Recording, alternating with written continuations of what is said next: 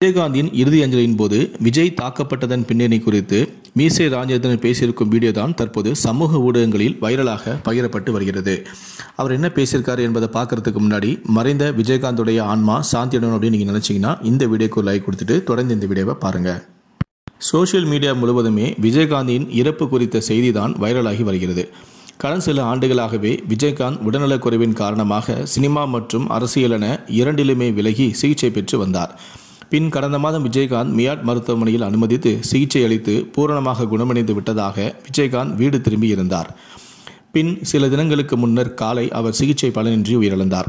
மேலும் கேப்டனின் மறைவுக்கு பல்வேறு அரசியல் பிரபலங்களும் திரை பிரபலங்களும் இரங்கல் தெரிவித்திருந்தனர். விஜயகாந்தியின் இறப்பு ஒட்டுமொத்த தமிழகத்தையும் புரட்டி போட்டிருக்கிறது. நேற்று முன்தினம் மாலை விஜயகாந்தின் உடல் அரசு மரியாதையுடன் நல்லடக்கமும் செய்யப்பட்டது. லட்சக்கணக்கான மக்கள் தொண்டர்கள் ரசிகர்கள் நேரில் சென்று விஜயகாந்தியின் இறப்பிற்கு அஞ்சலி செலுத்தியும் இருந்தனர். அந்த வகையில்தான் நடிகர் விஜய் அவர்கள் விஜயகாந்தின் இறப்பிற்கு நேரில் வந்து அஞ்சலி செலுத்தியிருந்தார்.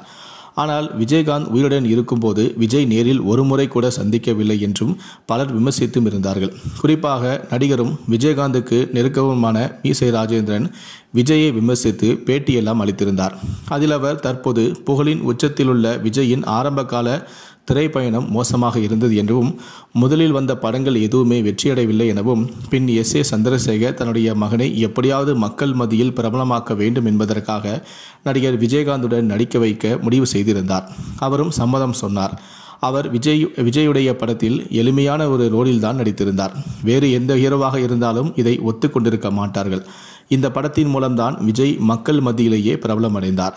இப்படி விஜய் பிரபலமாக காரணமாக இருந்த விஜயகாந்த் உடல்நிலை சரியில்லாமல் இருந்தபோது அவரை ஒரு முறை கூட நேரில் சென்று விஜய் சந்திக்கவில்லை. இதுதான் ரொம்ப வருத்தத்தை அளிக்கிறது என்று அவர் கூறியிருந்தார். இந்நிலையில்தான் இது தொடர்பாக தற்போது மீசை ராஜேந்திரன் அன்னியாரே ஒரு கட்டத்தில் சொன்னார்கள் நீங்கள் அவர்களை பற்றி இனி நீங்கள் பேச வேண்டாம். அவர்களே தெரிந்து புரிந்து கொண்டுதான் விஜயகாந்தை வந்து பார்க்க வேண்டுமே தவிர நாம் ஒருவரை சொல்லி கட்டாயப்படுத்தி விஜயகாந்தை வந்து பார்க்க வைக்கக்கூடாது என அவர் சொல்லியிருந்தார். இதை இனிமேல் நான் இதை இனிமே இதை பற்றி பேச வேண்டாம் எனவும் அந்நியார்கள் என்னிடம் சொல்லியிருந்தார்கள். அதன் பிறகு நான் எந்த ஒரு பேட்டியிலுமே அதை பற்றி பேசவில்லை. என்னை போன்று பலருமே வருத்தம் வருத்தம் இருக்கத்தான் செய்யும்.